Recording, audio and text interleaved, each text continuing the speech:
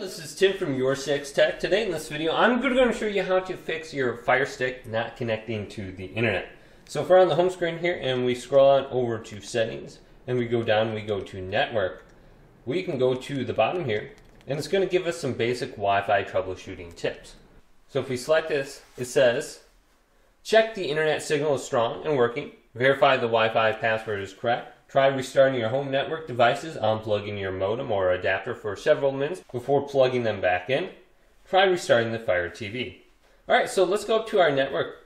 And what we want to do is forget the network and then type in the password again. So here's Miss Beast. You can see I only have like one signal on this, so it's not very strong signal strength whatsoever. So I'm going to press the button with the three lines on it. And then I'm going to forget this network. Now, if you don't see on top here, you can go to see all networks and you can scroll on down and go to rescan and you can see if it pops up on the list here. So here it is, Miss Beast. So let's select this network, then type in the password again.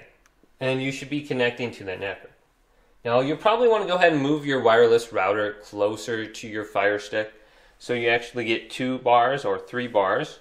Otherwise you're going to get really poor download speeds and the connection could drop on you, causing buffering and stuttering when you're watching videos. Now, when you're over your network, you can also press the play button on it and you can check your network status. Here you can see if you're connected to the internet. You can run a speed test right here and see your download speed.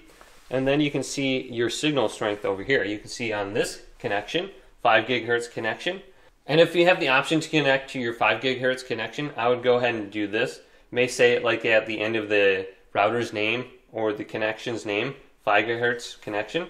And then you can see the download speeds are usually faster for your 5 gigahertz connections. Alright, so if reconnecting to the network didn't work, go to your Fire Stick and unplug it from the wall outlet for at least 60 seconds and then plug it back in and completely restart your Amazon Fire Stick. Then go to your modem and unplug this for at least 60 seconds and then go to your router and unplug that for 60 seconds. And sometimes you'll have a router modem slash combination like this where you only have one device. So just unplug those and reset everything. So that's pretty much just the basic Wi-Fi trebling tips that Amazon has provided us. This video did indeed help you out. Leave it a big thumbs up and subscribe to my channel down below for more tech up videos coming up next on Your Six Tech.